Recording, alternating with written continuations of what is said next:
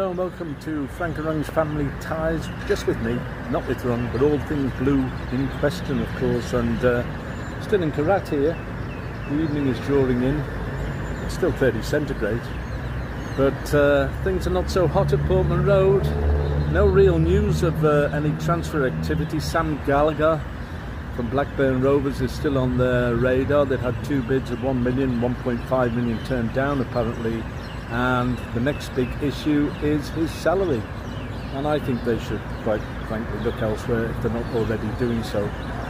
I think we need a George Hirst type.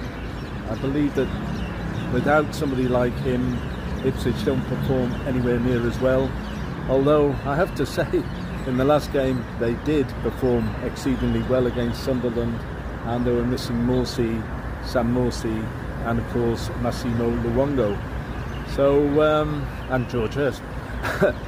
so Leicester is forthcoming. Leicester have a lot of uh, international call-ups and also bear in mind they've got a few injuries, so that might be a great leveller. I still remain optimistic that Ipswich can get something from the game, but is it a case of my heart ruling the head? I'd like to hear your views on the subject. I'm not making any predictions at the present time. Jerome's not with me at the moment. She's with her grandchildren or grandchild and um, I'll try and solo. Okay, catch you later, and what we say, up it down. Bye for now.